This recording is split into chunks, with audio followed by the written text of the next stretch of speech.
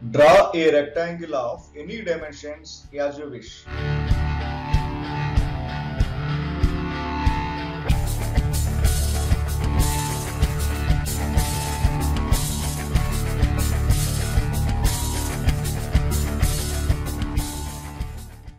Draw a line segment equal to the length of this rectangle as drawn here.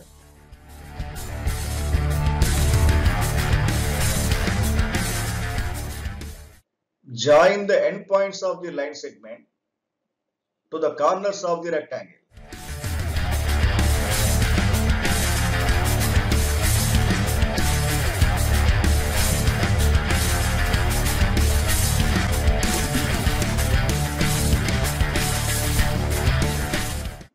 Draw a vertical line segment from this endpoint.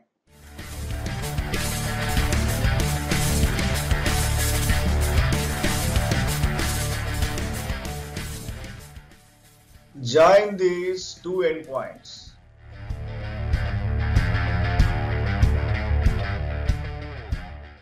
Now we have a brick showing its three faces. Let us see the faces. Face 1